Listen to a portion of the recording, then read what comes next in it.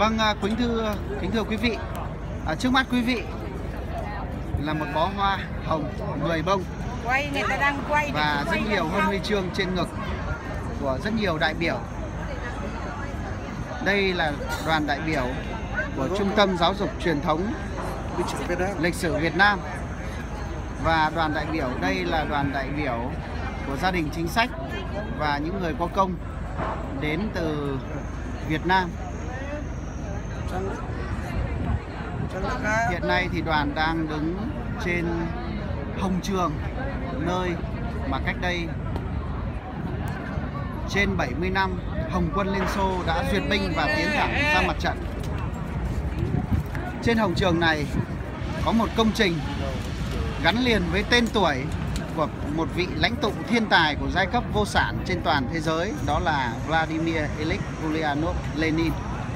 Và kính thưa quý vị, hôm nay đoàn chúng tôi gần 100 đại biểu gia đình chính sách và người có công Việt Nam với rất nhiều tướng lĩnh quân đội nhân dân Việt Nam, rất nhiều bà mẹ Việt Nam anh hùng, rất nhiều gia đình có công đang trên đường vào viếng Lenin trong hành trình về với quê hương của cách mạng tháng 10 Nga vĩ đại.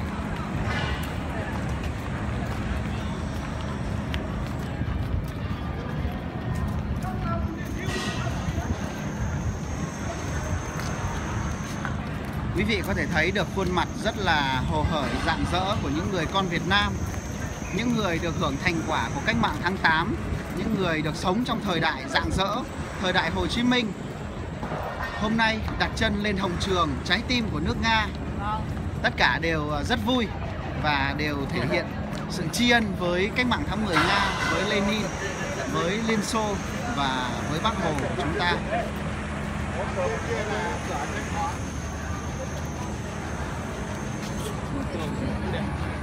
Vâng và kính thưa quý vị, à, trước mắt quý vị là tường thành điện Kremlin và phía trước kia rồi lăng Lenin hơn 7.000 cây số, gần 8.000 cây số. Đoàn đại biểu của chúng tôi đã đến với Lenin và hôm nay chỉ một lát nữa thôi thì sẽ được à, thỏa lòng mong ước để được vào à, nhìn thấy hình hài của Lenin. Mặc dù Lenin đã yên nghỉ cách ngày nay hơn 90 năm. Thế nhưng tư tưởng tình cảm của Lenin và đặc biệt là tư tưởng tình cảm của nhân dân Việt Nam, của Hồ Chủ tịch, của giai cấp vô sản toàn thế giới với Lenin thì mãi không thay đổi cho dù Xô Viết đã sụp đổ.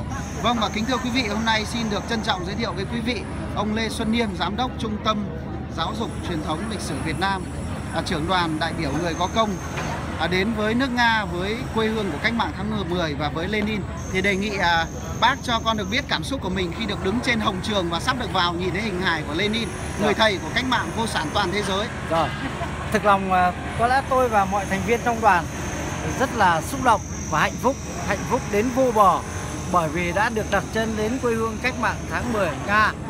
Và chúng ta cũng mang nặng lòng mang ơn. Nhờ có cách mạng tháng 10 Nga, nhờ có các chiến sĩ Hồng quân Xô Viết đã hy sinh cách đây hơn 70 năm để mang lại độc lập tự do cho nhiều nước trên thế giới, trong đó có Việt Nam thân yêu của chúng ta. Vâng. Vâng, xin trân trọng cảm ơn bác. Vâng, à, xin à, cụ cụ cho con biết là con biết là cụ ngoài 80 tuổi rồi, hôm nay là lần đầu tiên cụ đến nước Nga đúng không ạ? Lần đầu tiên được đặt chân trên Hồng Trường, nơi diễn ra rất nhiều sự kiện lịch sử trọng đại không chỉ có ý nghĩa với nước Nga, với Liên Xô và với toàn thế giới. Cụ là một người cao tuổi, cụ cảm thấy thế nào ạ? Tôi là một người Việt Nam lần này mới đến nhưng mà tôi đã làm nhiều với uh, việc với chuyên gia Liên Xô cho nên tôi rất có cảm tình với Liên Xô. Từ đấy tôi cũng rất là tôn kính Lenin và lần này là trực tiếp được gặp đấy là vinh dự. Dạ vâng, cảm ơn chú. Cảm ơn uh, cụ. Vâng, xin mời quý vị cùng uh, đến với một uh, uh, quân nhân trong quân đội nhân dân Việt Nam, à công an nhân dân Việt Nam.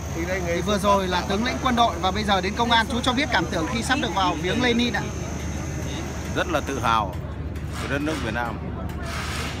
Được đi. Dạ, dạ vâng, cảm ơn chú. Vâng, có thể nói là chúng ta tự hào, chúng ta là người Việt Nam, tự hào là chúng ta đang à, đi theo đường lối mà Đảng và Bác đã chọn đó là à, chủ nghĩa Mark Lenin và tư tưởng Hồ Chí Minh là nền tảng tư tưởng kim chỉ nam cho hành động của Đảng và xã hội của chúng ta. Vâng, xin mời quý vị cùng à, chứng kiến những khuôn mặt rạng rỡ sắp được à, vào nắm Lenin. Vâng và xin mời quý vị cùng à, ngắm cảnh Hồng Trường. Tòa nhà mà tôi đang quay đó là tòa nhà tại nhà chú bác ông chờ chờ tí đang quay đang quay. Nào đâu rồi? Chờ đang quay đang quay. Chờ tí chờ tí chờ tí. Quay xong đã. Vâng, cháu đang quay để ghi lại cái tư liệu.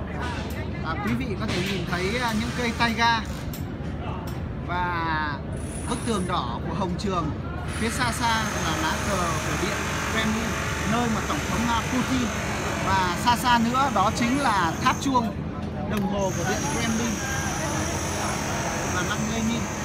Hiện tại thì trên Hồng Trường đang diễn ra à, sự chuẩn bị cho lễ hội quân nhạc do đó chúng ta không thể nhìn thấy và quang cảnh toàn cảnh của Hồng Trường nhưng không không gian ở đây thì rất là tuyệt vời